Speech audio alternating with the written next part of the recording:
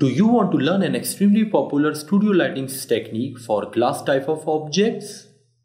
Hello guys, in this video product photography tutorial, we will learn how to light a glass object like this, just like a real life studio shoot. The reason to teach you this is that there are times when we have to render a glass like this for a commercial magazine or TV. So without any further ado, let's get started. First of all, we will build our studio in 3ds Max, just like a real life studio. So, in the top viewport, create a plane for the floor. Now, make it a lot bigger than your glass. It should be big than your glass. So I will keep it to something like 1000 1000. Then make sure you are in your move tool and click on these spinners to make the 3 axis 0 0 0 and your floor is on the origin. You can see it here. After this we will create a wall. So right click clone copy and drag it back like this. Now go to the rotation tool and rotate it like this 90 degree if you want a gradient like this, like this, the main trick is that you should keep your wall and the floor close. But there should be some distance between them. They cannot be like this. There should be some distance between the two. Create a camera. In my perspective viewport, first I will go here and I will turn on my show safe frame. Then I will come little bit close like this and I will click on front. Make it little bit more close like this. Something. And we can make it more close but first we, what we will do is that we will click on a physical camera to create a camera here. Next go to your top viewport make sure your camera is selected. If you see right now my camera is slightly offset. So make your x 0 Try to keep your camera in the origin. Just like this. Come here. Select your target camera and make it 0, 2. I will take it little bit back like this. Next.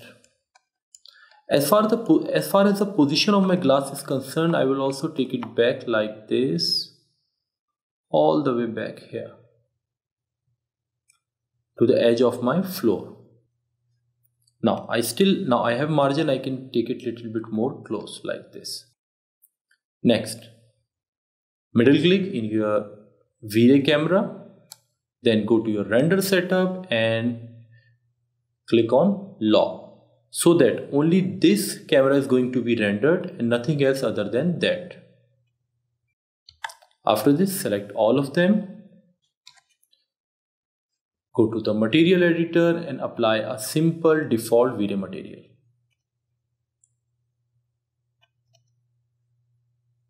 Assign it here. This makes lighting in the scene easy. After you are done with this, click on V-Ray frame buffer and start interactive rendering. The render is all black because there is no light in the scene. So create a disk light. Go to your front viewport then go to the lights, V-Ray and change it to disk and make a light here. Now go to your perspective viewport and make sure that first of all your light should be aligned to the grid should be on the 0 0 0 then the size of the light is too big right now. It should be small so decrease it to something like 75 will work better in my case. But it should be small. It should not be extremely big. You can get an idea according to your objects.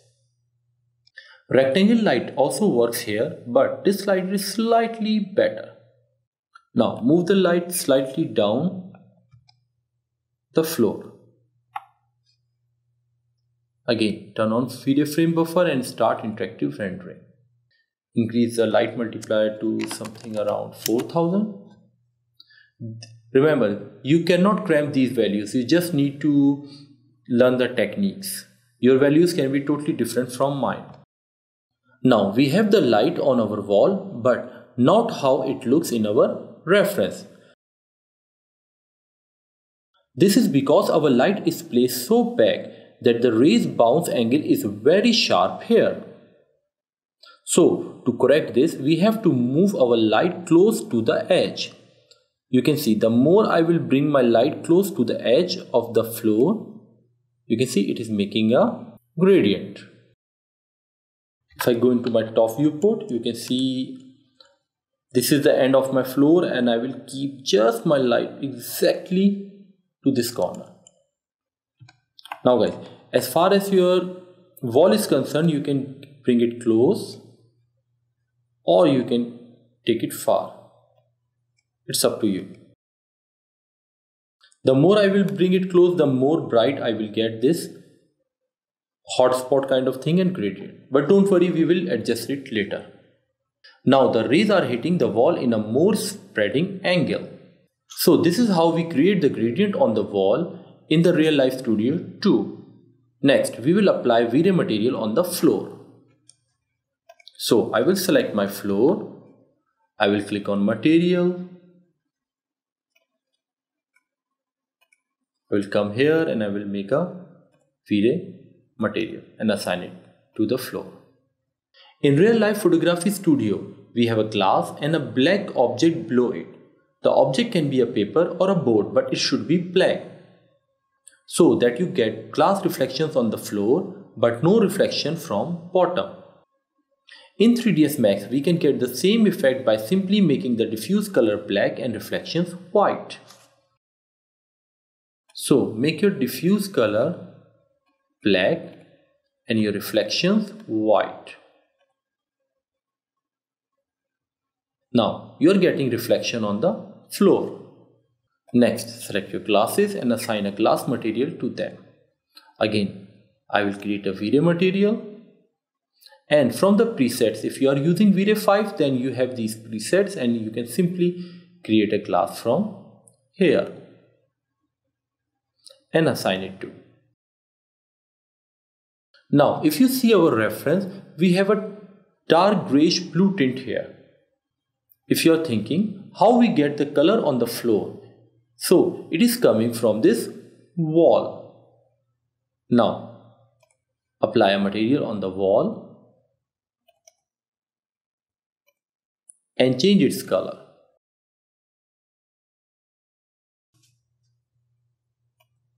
With all that done, the only thing left are these reflections on the glass. For this, we will create a rectangle light on the right side.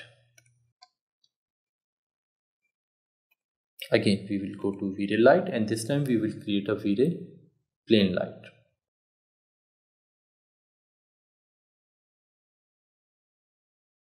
To create these kind of long reflections, I will increase the height of this rectangle light.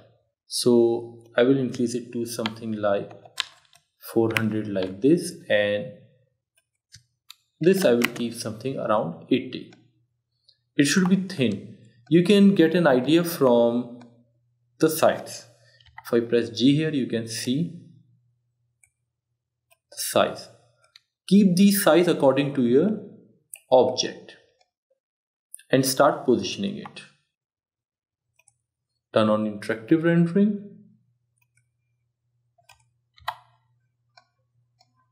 And start changing its positions. I will also increase its value to around 110 to get little bit bright light.